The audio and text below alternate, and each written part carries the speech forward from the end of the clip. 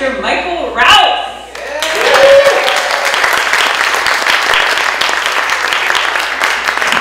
How's it going, guys? Good. So I was a little worried when I didn't think there was going to be alcohol served, and I was oddly comforted when I found out there was alcohol. So, uh, by now it's been about an hour and a half, so it should be kicking in pretty good. this might go better than I thought. Uh, so a little about me. Uh, the past, a little over two years, I've lost about 125 pounds.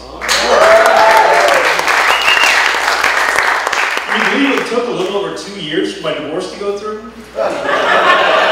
I'm just kidding. She weighed a lot more than that. Uh, I, I really did lose the weight. I was 400 pounds. Now I'm down to a svelte 275. Uh, it wasn't easy. Uh, I had to actually go to the gym, it turns out, uh, which wasn't easy for any fat person, I think, to go to the gym. Uh, it's a big transition.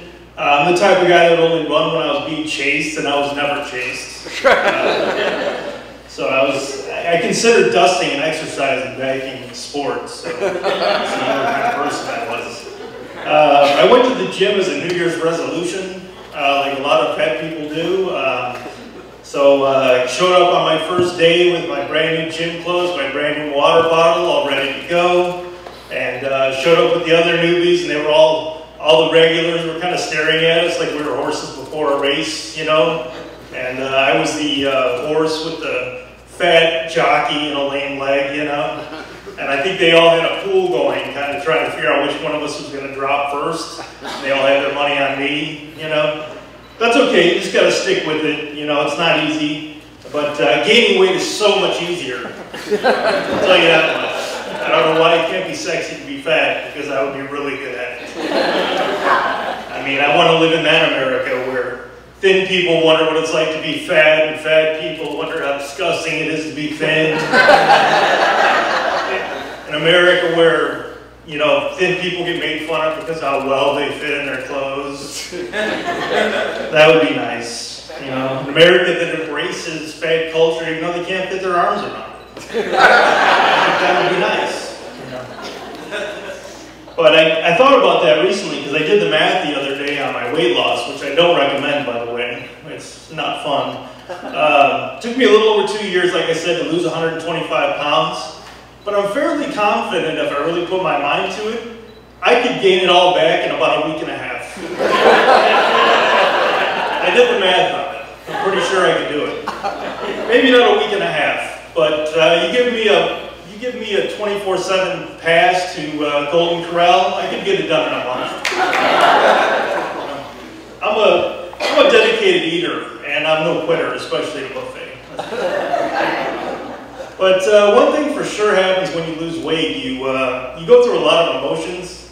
You know, for example, I felt kind of sad when I thought about all the cows that must have died to make the 58-inch leather belts that I've had over the years. But I did donate them to a farm recently, so now they're being used to herd cattle, so I guess what goes around comes around. Not so bad. On the positive side, uh, I can see my feet for the first time since 2003, uh, both of them, which is nice. You wouldn't think it matters, but to me it did. I mean, you have no idea how many times I went to work with two different shoes on. It's embarrassing. And, uh, I think uh, you know, it throws off your equilibrium when you're uh, when you can't see your feet. You know, I think that's why most fat people waddle. I pretty much walked like a penguin for most of the time that I was 400 pounds. You know, but uh, one of the things I could do when I was 400 pounds that was neat that I kind of missed was I could fit a whole roll of dimes in my belly button. Which you wouldn't think is cool, but try it. It's not easy. I probably fit a couple dimes at best A whole roll is impressive. I always knew though when I got to a roll of quarters it would be time to make a change. but, uh, so that was fun.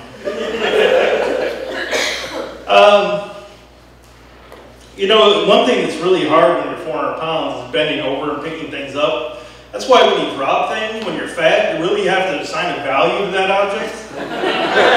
like immediately. So like, if you drop car keys, it's pretty obvious you're gonna have to pick them up. Like, hopefully you're not in a big area like this where you have to bend down because you really have to lean on things to pick things up. So you have to look around and then like kick it to the nearest spot where you can lean down and pick it up, you know?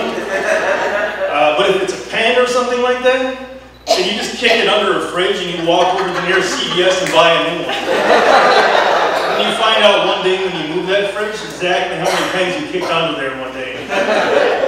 and move on with your life. You know, uh, this one time a few years ago I went to uh, Little Caesars Pizza, parked out front, and there was a, it was in a strip mall, and I pull up and there's this homeless guy out front asking for money. And I'm like, uh, I give him my standard response, which is, I'm sorry I don't carry cash in my, in my wallet. And, uh, which happens to be true. And he says, uh, well, you could just buy me something. I'm like, ah, that's true. so, so I go inside and I'm like, uh, picking up my pizza, and I see they have the hot ready pizzas there for pickup, you know.